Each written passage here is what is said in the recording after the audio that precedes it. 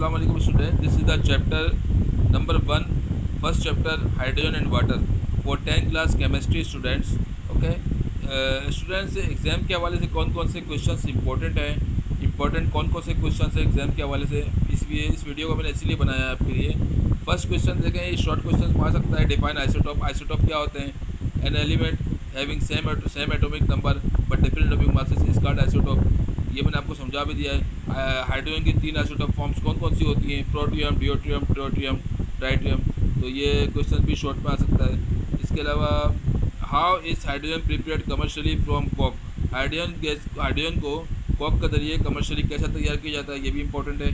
कि Bosch method to separate hydrogen gas from water gas hydrogen gas को water gas के ज़रिए Bosch method के ज़रिए कैसे सेपरेट किया जाता है, ये भी इंपॉर्टेंट है लॉन्ग में आ सकता है।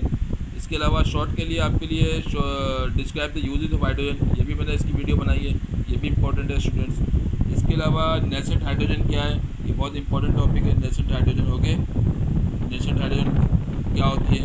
इसके अलावा जो है what do mean by hard water क्या है सॉफ्ट वाटर क्या है? Types of hardness of I describe the types of hardness hardness की कितनी टाइप्स होती हैं? इसके अलावा how is the hardness of water remove पानी की जो वाटर की जो हार्डनेस है, कैसे रिमूव की जाती है? क्लार्क मेथड के ज़रिए टेम्प्रेरी मेथड के ज़रिए, ये बहुत इंपॉर्टेंट है आपके लिए।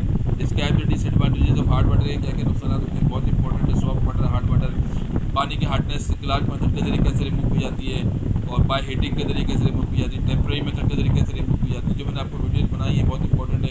इसके अलावा स्टूडेंट्स हैवी वाटर क्या है? इस पर इस पर नोट लिखें।